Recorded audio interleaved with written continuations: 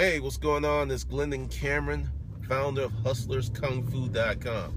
Hey, below each and every video is some insanely helpful information. Check it out.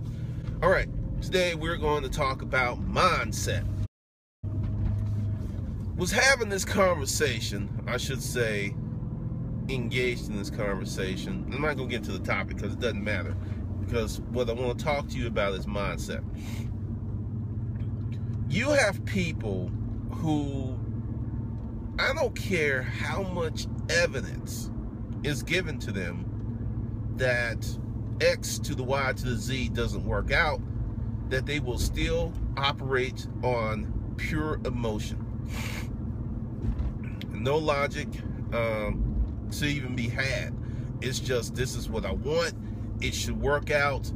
And it's just a false narrative if you're operating on false narratives and you get undesirable results, whose fault is that? Something you have to think about. If you continue to behave as if things aren't the way that they are, and then when those things bite you in the ass, once again, who who who's to blame? Because you know, not too long ago, I had someone arguing with me over personal responsibility on this channel. And that's what it boils down to. When you're young, you have all the excuses in the world to be ignorant. You're young, you don't know anything. Maybe you grew up in a bad situation. Nobody's helping you out. Nobody's giving you good mentorship or guidance. But once you reach a certain age and you remain ignorant, that's on you. It's not on anyone else. That is on you. That is your baggage. That is your package. That is something that you own. But you get people who just refuse to accept that. Now, when I say mindset, I don't know how to break it down to you where you really understand how critical, how important mindset is in each and everything that you do. It is so critical. It is so important. You, I mean, I, I, don't even have an example because sometimes they get exasperated because people are looking for shortcuts and people are looking for this push button solution or this turnkey solution where they really don't have to work that hard. Or they're looking at someone else's life without breathing that air. You can't look at someone else's success and hope that's going to be yours because typically you're not going to get all the information. You can reverse engineer only so much. And that's one of the things I learned in sales. When you are not privy to the right information, it is hard to make better decisions. It is hard. It is daunting and I see many people who are um, who research successful people. Now, I suggest that you should research successful people, but at some point, you've got to take that research and put it in that place where the rubber meets the road. You got to put it into effect. And once again, that that's mindset because I have uh, experienced some things in my life that people said weren't going to happen. But I put it in my mind that it was going to happen. And I, I clung to it. And there were some days, you know, you get weak. You have days where you don't believe. You have days you don't want to work as hard. But you have to keep your mind straight and focused on that aim. Because if you don't, the power of negativity is so strong, it can just take you out with a quickness. And that's one of the things that happens because as we go forward in life, more opportunities are given to us and more things are required from us. That's just how it is. And many people, I think, do not want to deal with all of the changes that will come from success. And that's the mindset because right now, wherever you are, whatever you're doing, there's a certain um, level of ment, mental inertia. A certain thing that's just this person is driving crazy. There's just a certain mental inertia. You'll get to a certain point and you'll stop. And the reason isn't because you don't have the ability, is you have not adjusted your mindset for the next stage. That is really, really critical when you are trying to be successful of taking your mindset to the next level. Because as long as you keep your mindset at level C, you may want to go to level A, but your mindset is at level C. It's going to stay there, and that's where you're going to stay at level C. You have to constantly push and expand what you're going to do, how you're going to do it, and the things that you're creating for yourself. I'll give you a great example about mindset. For a long, long time, I was a reseller.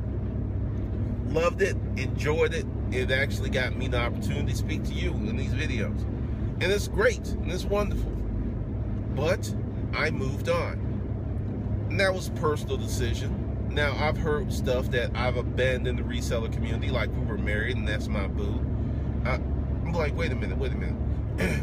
Just because you can't move on, why shouldn't I move on? This is a mindset lesson, and this is about tribalism because one thing about resellers, it becomes very, very almost cultish the deeper, the more successful you are, the deeper you get. And I, will give you an example. There's a guy here in Atlanta named Dave. Dave was killing it. But fortunes changed. You know, Dave was doing it when it was just uh, flea markets and stores only. And he didn't adjust to the internet. And then he started to start to lose. I mean, at one point, Dave was strong. Dave won all the units. Dave had the ability, the resources, the infrastructure to buy, move, and sell all of the units. You couldn't do anything with it but he did not adapt. He did not move his mindset from level C to level A. And, you know, eventually he lost it all because he did not improve his mindset. He lost it all, had a 10,000. I mean, he was a guy that I modeled part of my business from because I remember we are out at an auction and he was just talking about, you know, I get all this pretty shit now because, you know, in a few months you ain't gonna be able to buy it. Took that information and I kept it, and then I got myself a warehouse. very, very important. And once again, when you were successful, it becomes very hard for you to change your mindset. And that's what happened to Dave. And he's he's out of the game. I mean, he's really dialed it back. So if you are so I'm gonna do X, Y, and Z forever, and that's cool. If that's something you got passion for it, you love it, that's cool. But one thing I've noticed about people who are really overall successful, it's very hard for these people to hate.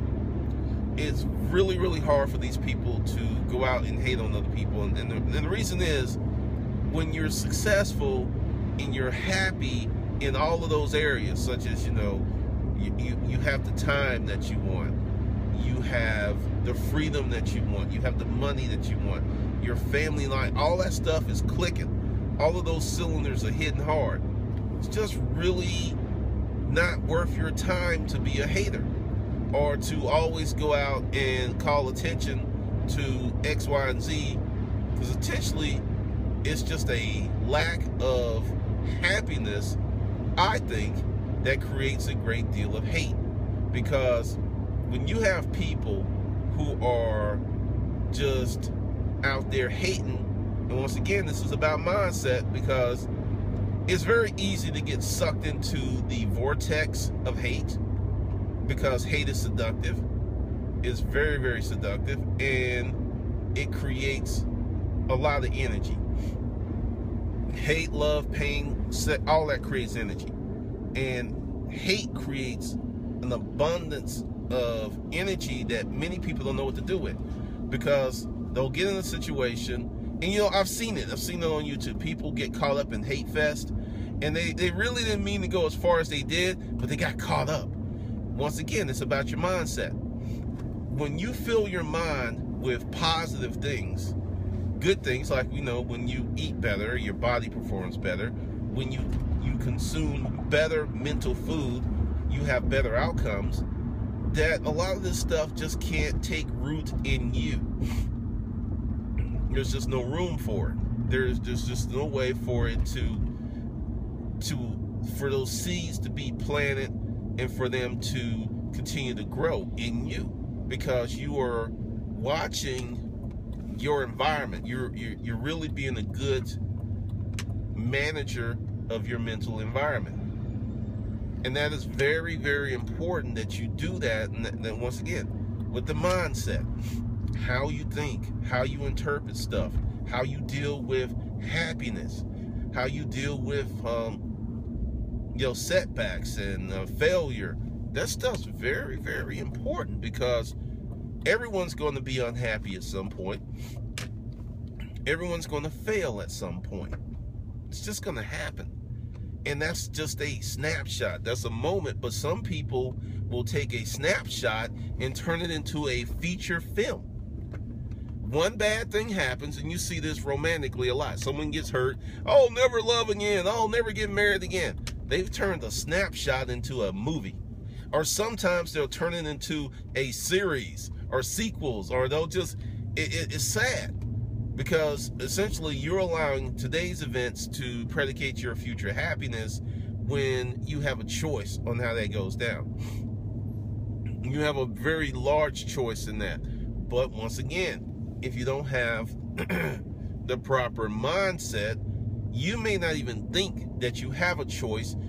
You may just think that you got to take it and deal with it versus uh, putting your mind on the, the, right things, working hard.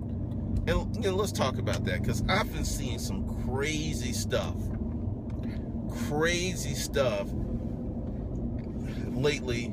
Um, in terms of the use of certain verbiage, such as personal responsibility and working hard. And I'm going to tell you something. If you, as a person, turn off the internet or, you know, really, really govern what you watch on the internet, and you come off Facebook, and this is a challenge, I'll, I'll listen to you. Come off Facebook 90%. I'm not saying completely turn it off, but reduce your Facebook time by 90% unless it's business oriented. You know, if it's business oriented, that's fine. But cut it by 90%. Also, stop listening to certain negative things. Don't hang out with it. And focus. Take that time that you were on Facebook and put it into successful endeavors. And do that for 90 days. Then get back to me and tell me how right I am because I've seen people get caught up in the negative loop of bullshit. Like right now, like I said, you know, once again, I'm not going to talk about social issues on this channel. I probably will crank that up on my other channel. Once I do that, I'll let you know. But I see people discussing certain things that will not make them happy, will not provide them freedom, will not improve their life, will not improve their health, will not put money in, and go at it so hard and with so much vigor. And then when you look at them, you're like, what the hell happened to you? I mean, seriously, what what the hell happened to you that you're living like this? And then, if you want to see how a person is living, look at where they put their time. I'm an internet marketer.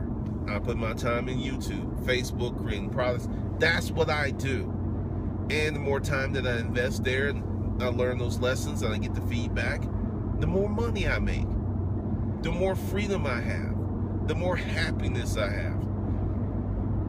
But if I were to get sucked into the pitfalls and the cesspools of negativity, and there's many of them. I mean, there's one on YouTube that I am watching with a great degree of glee consume the instigator. Started a whole bunch of stuff, now all of it's coming back and rolling back on him, and he can't handle it. He freaks out. It's just like, wait, whoa, whoa, whoa, whoa. And see, this is the thing. Anytime someone says, hey, I'm trying to give you constructive criticism, and they do it in an open forum, they're not trying to give you constructive criticism. They're trying to shit on you and hate on you. When I was a manager, and whenever I had a problem with an employee or somebody, I wouldn't go out and dress them down in front of everybody. First of all, that makes people very defensive. Second, it makes it reduces your power. I know it's like, wait, wait, you just went off on some. No, it reduces your power because people don't trust you, and they're like, shit, he did that to him, he gonna do it to me. So what I would do would take him aside, bring him in the office, or sometimes I would meet him outside of work because environment is huge, and then like, okay, this is the deal, this is the deal. And most of the time, it was cool, the behavior was corrected, and we went on. That's how you give constructive criticism if I see somebody on Facebook doing something stupid, I don't put it in the comments. I'll hit them in the inbox and look, hey, that actually is a, you know, from the Onion, which is a satire site. That's not real. Oh, well, sometimes I'll put that in the comment, like, hey, you know, this isn't real. Just letting you know.